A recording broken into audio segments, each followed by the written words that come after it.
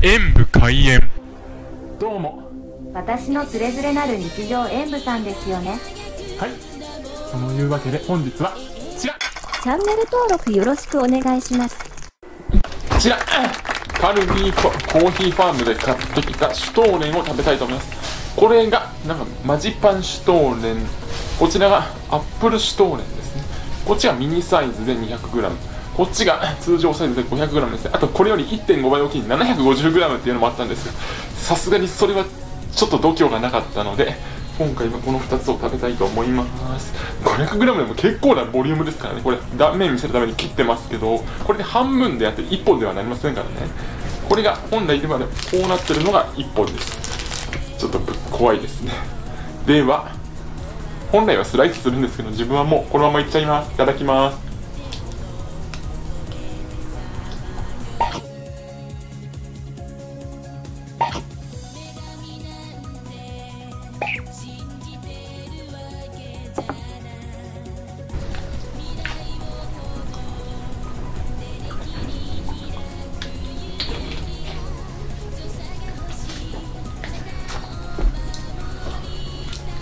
はい続きましてはアップルシュトネンこちらはやっぱり違うのかな。ではいただきます。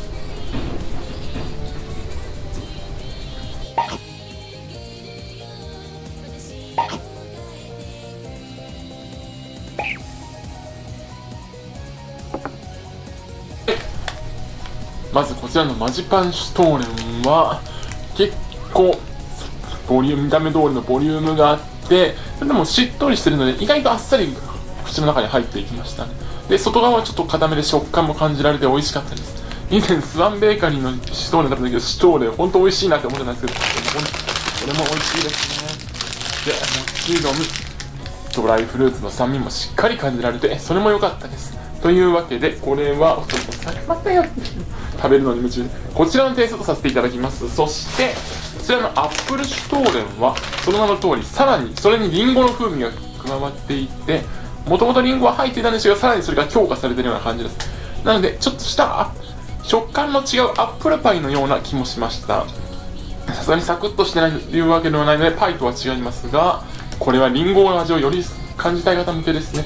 甘酸っぱさがより美味しさを引き立てていたのでこれはこちらのテイストとさせていただきます。しかし白い粉が落ちるならまあ手づかみでそもそも食べるなって話なんですけど白い粉が落ちるのは難点ですね。このようになりますが。と指定された食べ物以外はする食べ方以外はするものではないですね。それでは。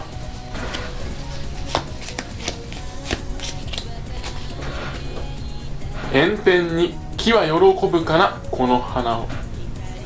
木に花がなるのでしょうか？ご視聴ありがとうございました。コメントしていただけるとそしてよろしければ他の動画も見ていただけると動画を拡散していただけると嬉しいです。演武終演。